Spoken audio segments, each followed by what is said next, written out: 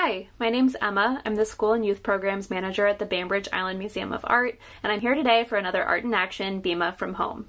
Today we're going to be talking about automatic drawing.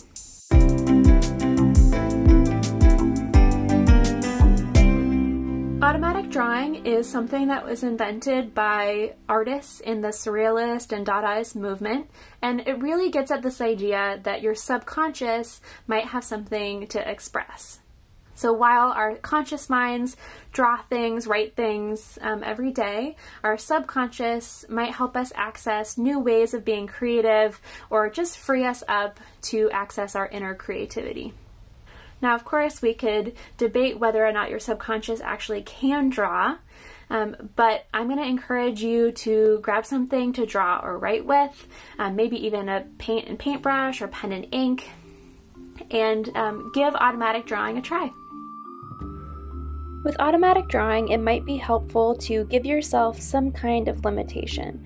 So, whether that's setting a timer and saying you're only going to draw for one minute or two minutes, or maybe you are um, choosing a smaller piece of paper, like I've done here, and having that be your limitation.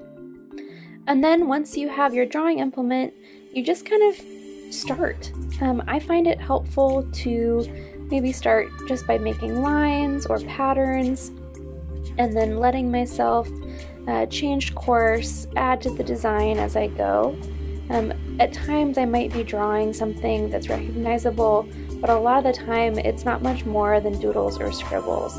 And that's really what the artists were going for, right? This idea that you're tapping into something that's more than you could plan. It's not that you're starting an automatic drawing with a vision of what it will become, but rather making something as you go, uh, letting it be experimental, and really freeing yourself up to uh, just make marks on a page and let it become what it becomes.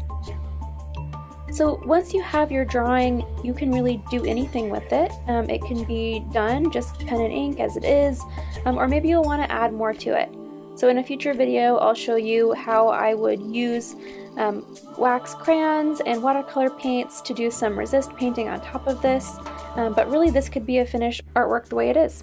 Um, so we hope that you will join us next time for BIMA's Art in Action from Home.